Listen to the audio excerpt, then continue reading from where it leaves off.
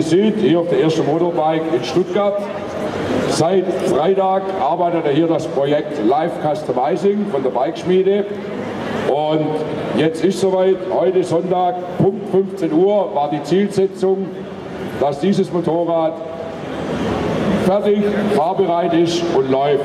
Bodo, sag doch mal ein paar Töne zum Motorrad, was jetzt gemacht wurde und wie es jetzt weitergeht. Ja, zuallererst mal herzlichen Glückwunsch an unsere beiden Jungs, die das Bike hier in diesen drei Tagen, also ich muss sagen, eigentlich in Perfektion aufgebaut haben. Ich bin total happy, was die Jungs hier geleistet haben. Sven und der Costa sind beide Auszubildende bei uns im Betrieb und haben in kompletter Eigenverantwortung dieses Bike hier in diesen drei Tagen gestaltet und gebaut. Wir sagen, also das ist doch für die beiden Jungs ein Applaus wert, oder? Ja. Natürlich ist die Unterstützung von der Bianca und von Christian Gaber nicht, äh, darf auf gar keinen Fall unerwähnt bleiben. Die Bianca hat die komplette Lackgestaltung gemacht, hat hier auch über die drei Tage live auf dem Stand das Lackdesign vervollständigt. Und Christian Gaber hat seit gestern die Sitzbank komplett hier am Bike live angepasst, so dass das Publikum sich mal einen Eindruck verschaffen konnte, wie entsteht denn eigentlich so ein Custom Bike. So, fand ich super. Also nochmal Riesenapplaus für dieses Team.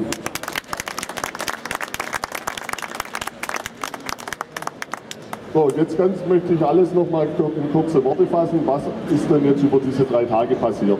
Wir haben also am Freitag eine originale, fabrikneue Harley-Davidson V-Rod hier auf die Bühne gefahren. Die Jungs haben am Samstag, äh, am Freitag das Fahrzeug komplett zerlegt.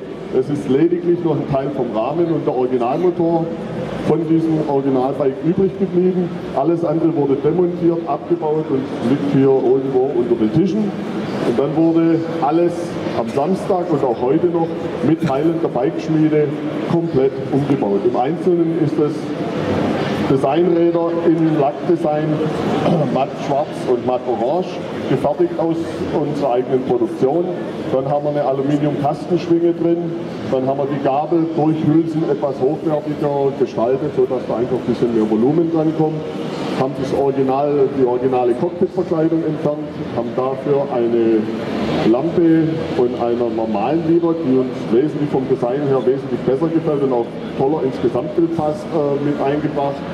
Kellermann-Blinker hinten und vorne, andere Rückspiegel, andere äh, Frontfender, anderes Airbox-Cover, ebenfalls alles aus eigener Produktion bis hinten hin zum Heck. Dann haben wir eine Auspuffanlage im Track-Style dazu gebaut. Muss ich ganz klar sagen, ist natürlich keine TÜV-konforme Anlage, man wird es nachher hören. Ja, aber zum Stil passt natürlich hervorragend. Wer damit auf der Straße fährt, der muss natürlich das Risiko dann an der Stelle auch ein bisschen selber tragen. Ganz klar. Und hinten haben wir noch ein seitliches Kennzeichen, damit das dicke Hinterrad, was jetzt hier eingepflanzt wurde, in der Dimension 300 auf einer 11 Zoll Felge, auch richtig schön zur Geltung kommt. Da wollen wir kein Kennzeichen mehr mittig haben, sondern haben hier das Kennzeichen an der Seite angebracht. Ein Rücklicht fehlt gänzlich, weil in der neuen Kellermann-Blinker-Generation Bremslicht und Fahrlicht in den Blinkern mit integriert ist.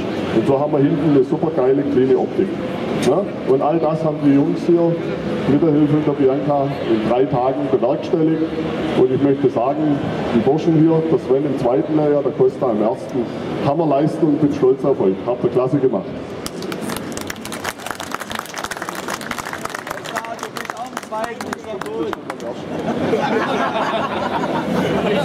So, dann würde ich sagen, dann haben wir jetzt wohl einen Termin vorne auf der Showbühne. Haben das Ding da vorne präsentiert.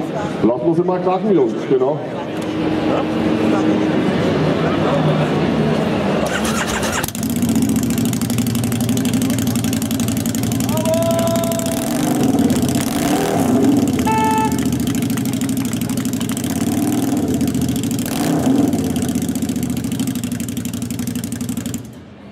muss eine Harley kriegen.